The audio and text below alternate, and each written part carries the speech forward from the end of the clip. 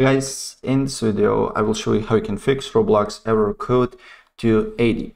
So the first thing, what you need to do here, you just need to exit Roblox player from your task manager. It should be no uh, Roblox uh, basically processes running on your task manager. And uh, another thing that you can do here, uh, you need to just go uh, on search and write date and time settings.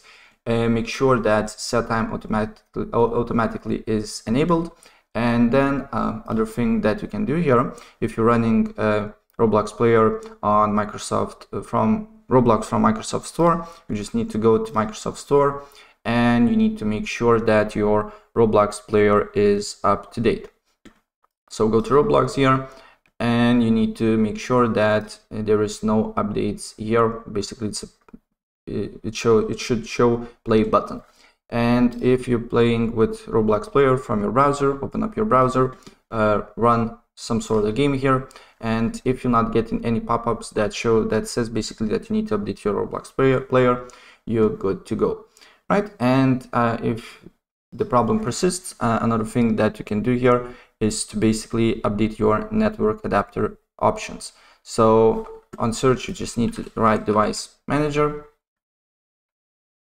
and expand the network and adapters here and then update uh, basically the device that you uh, basically running on your computer.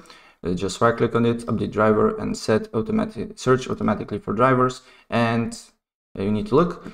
But if you don't know which one you're basically using just update them all. It's just super easy. It will take you a few seconds right?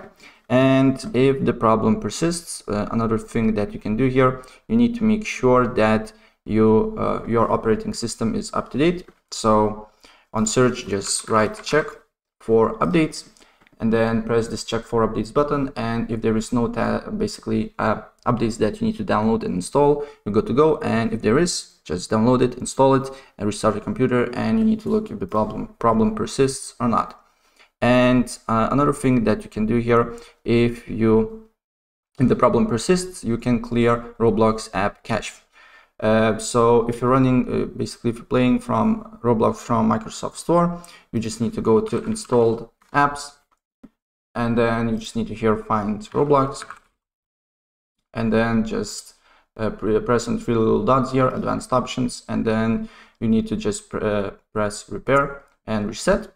And if you're playing uh, Roblox from your basically browser, uh, what you need to do here is to press Windows Sanaki or just here, just write run uh, and write percentage sign app data percentage sign, press OK, then go to app data local and find Roblox folder.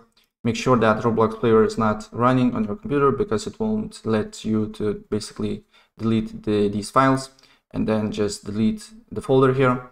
And then uh, what you need to do here is to go to browser, select the game here, and it will uh, reinstall your Roblox player here. And also on Roblox website, you can delete browser cache files. And to do so, just right click on the blank space, go to inspect, application, storage, and then clear site data here, refresh the page, and the problem should be uh, fixed. Right, so that's pretty much it. And if I help you out, please press like button and subscribe for more. Take care. Bye.